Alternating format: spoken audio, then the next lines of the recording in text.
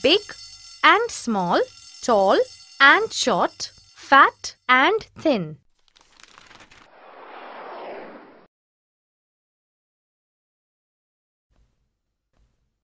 Hey, Starry! Welcome to the circus! Wow! What a big tent! And can you imagine, Starry? It is held down by these small nails. Big tent, small nails. Here we are inside the big tent. Just in time to see the clowns. Starry, have you noticed all the clowns look different? This clown in red is a big clown, while the clown in blue is a small clown. Aren't they funny, Starry? The big clown is wearing big shoes, and the small clown is wearing small shoes. Big clown, small clown. Big shoes, small shoes. Now look at these two clowns holding hands. The one in green is a tall clown, while the one in yellow is a short clown. Tall clown and short clown. Oh, and these two clowns in spotted clothes are the most colorful of all. The fat clown is smiling. But why is the thin clown looking so sad? Because he is so thin. Fat clown, thin clown.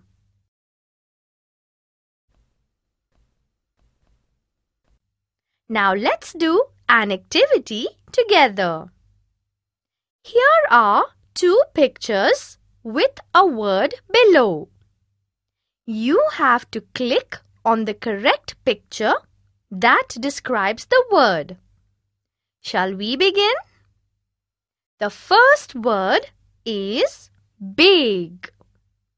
Now, here is a big dog and a small dog.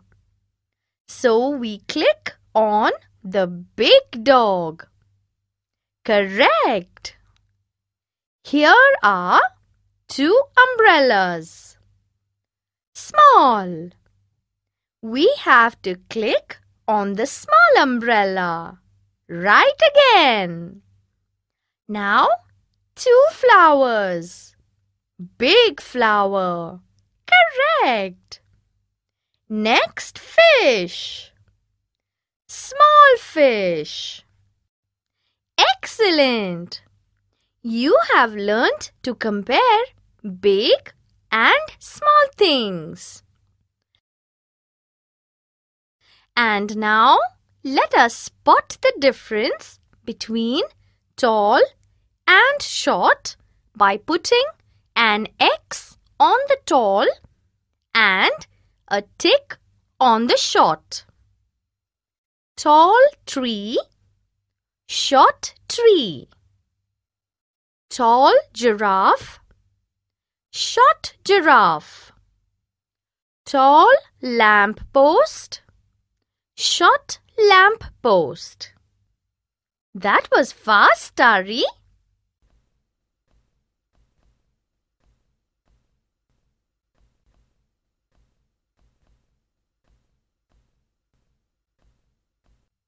And now, one last activity to find out the difference between fat and thin. The moment you click on the right description, the picture will get colored.